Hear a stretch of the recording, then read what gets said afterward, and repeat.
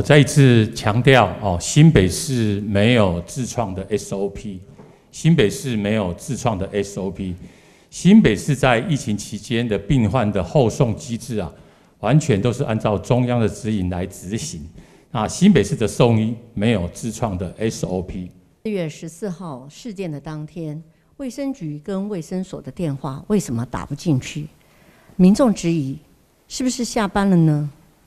我要跟大家啊说明，四月十四号新北市的确诊有三百六十人，居家隔离一万多人，是全国最多。当时呢，我们全国的防疫政策还是采取清零的政策。工位端需要投入大量人力进行疫调、进行框列、接触者裁剪，还有管理，还有包括送医、送集中检疫所。当天及疫情严峻的每一天，卫生局、卫生所的人员都坚守岗位，努力的处理回应每一通民众来电的需求。朋友以及线上正在收看直播的市民朋友，大家午安。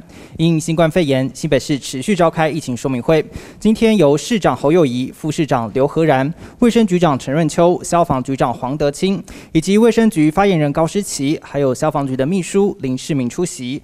首先，我们请侯市长为我们说明今天新北市疫情的最新进展。新北市的市民朋友，大家午安，大家好。今天新北市的新增确诊个案六千两百九十六人。至于机格列管是一万一千五百七十五人，本日可解隔是四千四百二十三人。至于居家照护的执行中是两万九千零四十四人，预计我们康复解隔是七千一百八十四人。至于我们的确诊人数的整个曲线也是在微幅下降，但是下降的速度趋缓，并没有下降跟以往比较快，所以后面的。整个确诊人数还是在六千两百九十六人。至于我们居家隔离的人数，大概是一万一千五百七十五，跟昨天跟前天相去不远。至于我们的居家照护的执行跟解隔的人数，那么陆陆计累计已经康复解隔人数是五十七万七千零一十五人，那解隔人数已经快将近。六十万人跟我们的执行数数加起来将近六十万人，那这是我们的居家照护做做到目前的整个情形。那我想借今天这个防疫的这个报告里面，特别把这几天因为消防局的电话录音遭到公布以后，对家属以及相关同仁产生困扰甚至伤害。甚至还出现许多似是而非的论调，造成社会的纷扰。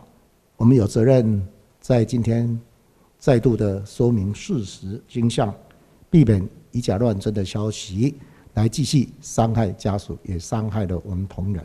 所以，因此我们今天特别请消防局、卫生局两位局长，向大家对这些错误的信息再度进一步很清楚的给大家再做报告。谢谢。好，我再一次强调哦，新北市没有自创的 SOP，新北市没有自创的 SOP，新北市在疫情期间的病患的后送机制啊，完全都是按照中央的指引来执行。那新北市的送医没有自创的 SOP。那松医的指引有两个啊，第一个是依照当时中央在今年 CDC 一月一号的哦居家隔离检疫或自主健康管理者接受医疗照护时的感染的管理措施。那他说，居家隔离居家隔离民众危急时可以直接打一一九及联系卫生局，并告知紧急救护人员相关的 TOCC。那紧急救护人员也要先行通知接收个案的急救医院有关其 TOCC。那第二个是一百一十年六月一号，消防署也函颁了那消防局官因应严重特殊传染性肺炎第三级疫情警戒救护应变指引。他说，当有危急个案一九派遣防疫分队要着标准的防护装备，积极联络卫生机关，指定后送医院。所以恩恩案发生时，卫生局有协调双河医院来收治病患，我们也有积极主动联系双河医院。那在恩恩案发生后，中央也分别在四月十七号跟四月二十号也修改了哦相关的指引。那消防署今年在四月十七号，它修正的内容是：当有九大警示症状的时候，不必确定有接收医院，就立即派遣最近的救护车来前往。意思就是说，一九不必再联系卫生局协调收治医院，即可立即派车。那在四月二十号的时候啊，中央疫情指挥中心也公告了，那放宽民众的就医的一个交通方式。民众可以直接打一九，也可以开放民众可以自行前往就医。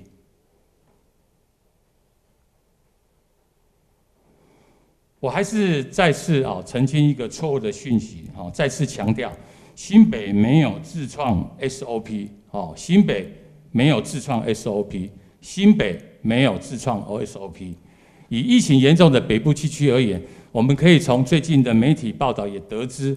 基隆跟桃园也都是依照当时中央的指引来办理。最后，我要表达，在疫情期间啊，对于所有联系紧急救护案件，我们都是战战兢兢，积极努力要做好相关的联系，尽快将患者顺利送到医院。有关于四月十四号事件的当天，卫生局跟卫生所的电话为什么打不进去？民众质疑，是不是下班了呢？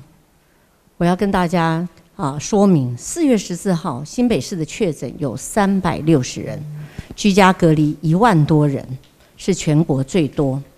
当时呢，我们全国的防疫政策还是采取清零的政策，工位端需要投入大量人力进行疫调、进行框列、接触者裁剪，还有管理。还有包括送医、送集中检疫所，当天及疫情严峻的每一天，卫生局、卫生所的人员都坚守岗位，努力的处理回应每一通民众来电的需求。打不通电话是因为占线，防疫人员都很认真的在持续的工作，有些常常都是到深夜。我们值班的手机二十四小时都是待命的，处理每一位市民的需要。新北卫生局卫生所没有唱空城计。双河医院当时是什么样的状况呢？我想当时我们所有的医院都非常的辛苦，因为他们也要照顾确诊的病人，也要照顾非确诊的病人。当时呢，也有医护确诊的状况，在很多医院都有。双河呢，正好在那一天呢，在那个时段，它也有急诊的医护确诊的状况。在这时候呢，急诊呢采取了分区清消以及降载的措施。六点二十五分的时候，消防局联络到了卫生局，卫生局的人员就立刻联络医院，医院也协助安排。到专责病房收治，后续全力的救治。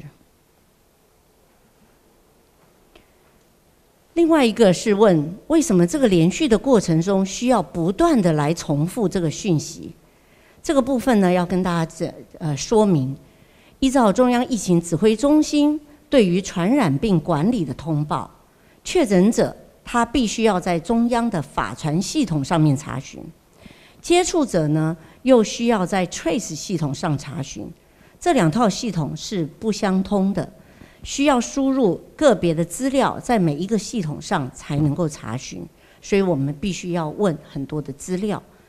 然后还有一个部分是安排就医，因为呢送医这个部分是真的不能送错的，所以处理的人员在交接的过程中，他要再三的确认患者的身份，以免有错误的产生。第四个问题，为什么卫生局跟双河医院中间没有录音档？还是要跟大家解释，是新北市的卫生局，我们目前使用的电话系统是在一百零四年建制，没有设计至录音的系统。我们有少数的稽查跟检举的专线，它是用外挂式的录音设备，这个是碰到有争议事件的时候，需要的时候才会启动。一般的行政电话，包括专责处理防疫业务的疾管科。电话还有综合卫生所是没有设置录音设备，所以呢是没有录音档的。这个部分呢，其实我们也已经有跟家属当面的说明过。以上这些问题，大家关心的问题呢，其实我们也都非常多次的跟大家说明。那今天呢，再度较详细完整的跟大家再说一遍。接着进入媒体提问时间。中时陈为此环宇林佳倩及华视陈诗雅提问。恩恩爸再提七个疑点，要求公开三个报告，希望可以公开双河医院跟卫生局横向通联记录，有档案记录吗？是否是否会提供？请问回应。好，卫生局也再次说明，新北市卫生局目前所使用的电话系统是在民国一百零四年建制，没有设置录音系统，所以除了少数的稽查，还有检举专线有外挂的录音设备，这些设备是在需要时有争议案件才会启动。那一般的行政电话，包括专责处理防疫业务的疾管科电话，还有综合卫生所，都是没有设置录音系统的，所以没有这个任何的录音档。那关于这一点，其实，在六月二号，我们也当面有跟恩恩爸爸详细的有说明过。华视陈诗雅提问，请问消防局第一通的接线执勤员有明确把恩恩意识不清楚状况转达给施小姐吗？当下勤务中心的指挥状况如何？消防局说明，事实上，在第一通报案电话进线消防局一一九之后。现场的人员都清楚了解他是危急个案，所以我们就很积极联系卫生单位及双和医院。以上是相局的说明。自有周湘云、中天、蔡炳宏、民事黄国成提问。市长昨天上午说会扛起全责，下午说交给司法调查。恩恩爸认为新北市府以拖代变，没有拿出诚意，到底哪个才是市长的态度？能不能更清楚说明？会不会道歉？恩恩爸也认为市长是否下台不是他说了算，而是要给选民去判断。市长认为这件事究竟谁该负责？然后恩恩爸早上也提及，市长说交给司法调查是在打迷糊仗，他根本连告都还没告。请问市长怎么看？这个司法的调查是公正的、客观的第三方，由公正的第三方来厘清事实，这大家都能够比较有一个客观的标准。那只要司法调查报告完成，该负的所有的相关责任，包括我自己在内，都完全没有例外。中天蔡炳宏提问。恩恩爸喊告，市府这边会如何应应？恩恩爸还提到，近期都没有任何市府相关人员与他联络，市府是否已经中断与恩恩爸的沟通？一切都交由司法调查吗？嗯，这个部分呢，我们是会尊重。那跟恩恩爸爸的沟通这个部分，其实一直以来我们都非常的关心恩恩爸爸。从恩恩住院开始，我们呢一直卫生局。还有社工都全力的协助，也都与他保持联系。那后续呢？消防局、卫生局以及社工也都有持续的多次的联系，这个管道是畅通的。如果呢，恩恩爸爸有任何的问题，都可以随时跟我们联络。最后，环宇林佳倩跟中天蔡炳宏提问。根据 Keepo 大数据关键引擎舆情分析系统，在网络好感度上，侯市长的好感度比值从三月最佳的一点三九掉到六月的零点三一，网络好感度骤降。请问市长怎么看？恩恩事件引发蓝绿攻防，会不会担心影响年底选情？这个所有的调查我都给予尊重，最重要，咱好好做代志，把我该做的本分工作努力的做好。